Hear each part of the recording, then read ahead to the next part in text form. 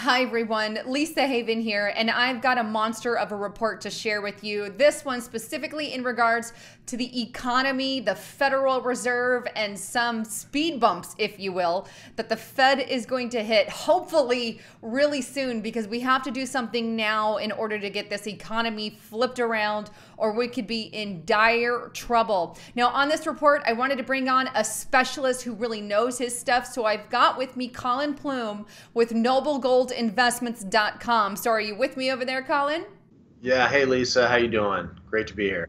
Awesome. I'm doing good. I'm so glad you were able to come on. The last couple of times you came on, we had some amazing stuff uh, happening with the economy. But let's just delve right in. Um, I know I trust you guys as my gold source, my working with Bitcoin. As you can see, I've got tons of, of your gold products here. So if you guys aren't involved with Noble Gold, get involved. There's links below uh, and many great deals and stuff. But let's just get straight into the House resolution. What's going on? What is this House resolution and uh, when was it introduced and what does it do to the Fed and gold? Yeah, so HR 5404 uh, was uh, pushed out there by Congressman Mooney, Alexander Mooney from West Virginia in essence, the, the bill is, is easy to read. Uh, if anyone uh, requests it from us, we'd be happy to send a link to it, and I'm sure you'll have some links in the in the video also. But basically, he talks about fixing the dollar uh, back to gold uh, on a fixed weight exchange, and um, the issues that he brings up are issues that we've talked about, Lisa, many times, um, talking about inflation, talking about our debt and really bringing to light a lot of the facts that we've discussed in a number of different books, ebooks, and and just on this on this uh, video. Um, but one of the things that he talks about in detail is if the inflation rate is two percent every year, which is the government mandate, every 35 years we lose half the value of our money. So uh, if you're keeping money in a savings account or you're just looking at, at buying the, the day-to-day goods that you need, um, every generation we're losing tremendous value. And so going back on a gold standard, fixing our dollars to gold uh, would eliminate that um, kind of market volatility and it would put put the hands of money in, the people that should have it and that should be we shouldn't have this kind of uh, heavy inflationary period we shouldn't lose half our buying power uh, every 35 years. And so putting us back in the gold standard would, would eliminate that. Okay, now I know I read some in this uh, article where it says, and I'm going to quote it exactly. Let me grab that piece but it says the gold standard puts control of the money supply with the market instead of the Federal Reserve. What kind of repercussions could we have with the Federal Reserve? Because everybody knows they're run by a bunch of foreigners, bunch of bankers. They care not about the American economy. All they want is money in their pocket. They want the control. We need to eliminate the Fed. Sure. Uh, and it by a gold standard, what is that going to do to the Fed? Are we looking at the death of the Fed?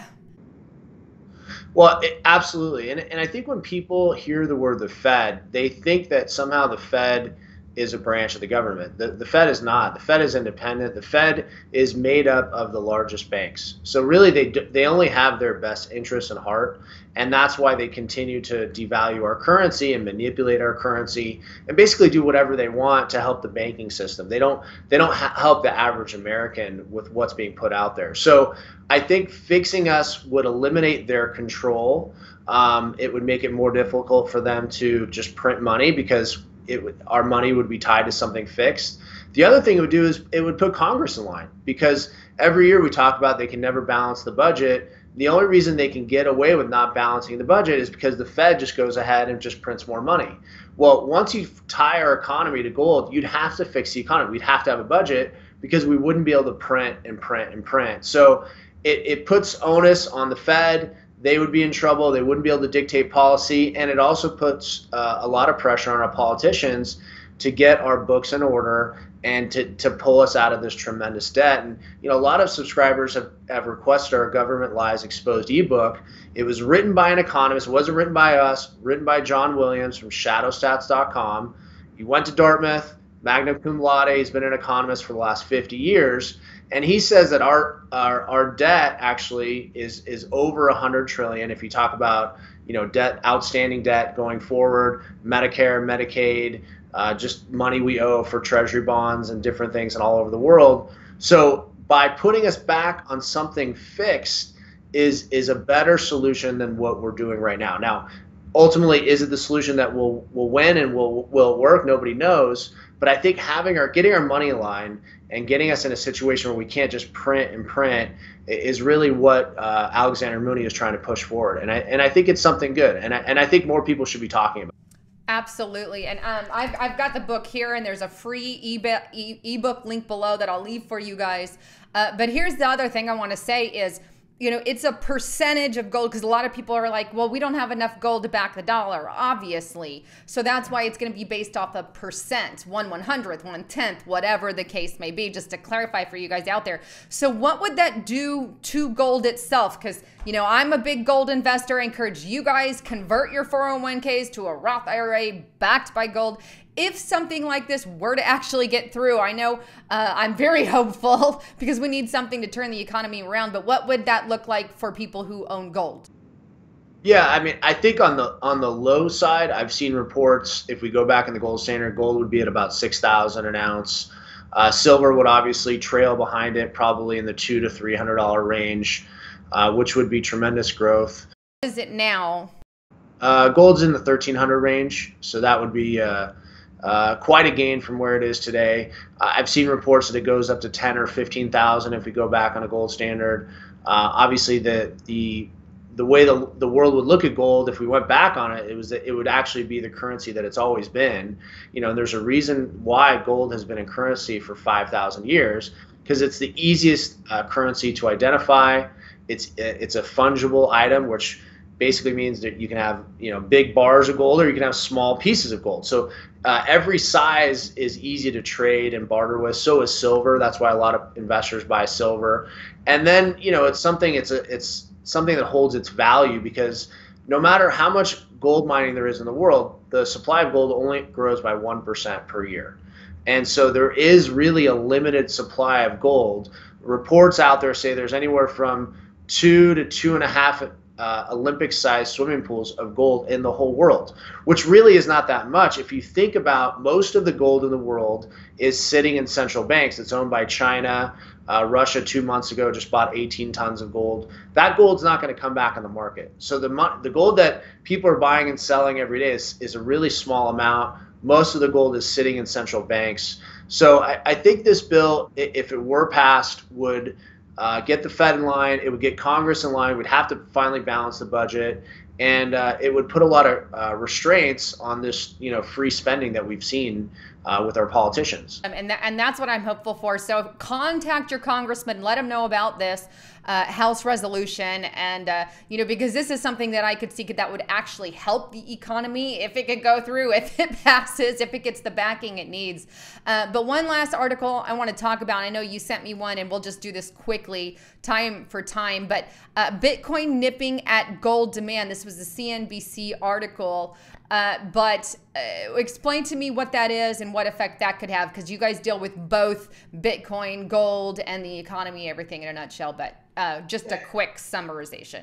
Yeah, it's it's a quick article. It just kind of talks about you know investors are they buying Bitcoin, are they buying gold, are Bitcoin investors taking away from gold? What we're seeing is we're seeing investors that are buying gold as their insurance and safety investment. They're buying cryptos in their IRA because they see the, the rise. Um, we actually, if you just watch the last few weeks, you know, Bitcoin has been skyrocketing. It was at 6,500. Now we're close to 9,000. Um, you know, the beauty behind doing it within an IRA with us, if you bought at 6,500 it hits nine or ten or eleven thousand, you can always sell it, keep that money in the IRA, tax deferred. Um, so if you haven't looked at cryptos and you're looking for something that's maybe has that ability to to kind of skyrocket quickly, um, I think you can learn a lot from our guides. You can get a lot of good information if you're looking for that that kind of investment. I think uh, cryptos are something that a lot of people should be looking at. Awesome. So make sure you guys check out uh, all the links below. You guys can call them. They have a phone number. I'll put that on the screen uh, also below. But make sure you have, you know, your, your Roth IRA, gold, Bitcoin, something that you're investing in because there's a lot of changes that could come into the it could come into play. Like Bitcoin, for example, already coming into play. Uh, the Federal Reserve. We have the gold, the gold standard, if you will, a, a version of it, I should say. But lots yeah. of things. To come into play. So uh, just leave the website information for us, Colin, and uh, and uh, any any any deals or specials you have going on. Yeah, uh, Noble Gold Investments or, or, Noble Bitcoin are the two companies. One is for precious metals, one is for cryptos. Uh, phone number is 877 646 5347. Phone lines are open 24 hours. Um, we do have some specials if they mention Lisa Haven if they're doing an IRA. Uh, for this month, we're actually going to waive the fees, uh, setup fees for any precious metals IRA. Uh, it's about a $450 $50 savings. So if they call in, mention Lisa Haven, we can offer that. They start the paperwork this month, um, so we can get them started. So yeah, feel free to give them a call, even if they just want free information. All the guides are free, and uh, we definitely recommend getting educated in the uh, alternative assets uh, field right now. Well, thanks again for tuning into my channel here. That was Colin Plume with Noble Gold Investments, and I'm Lisa Haven signing out.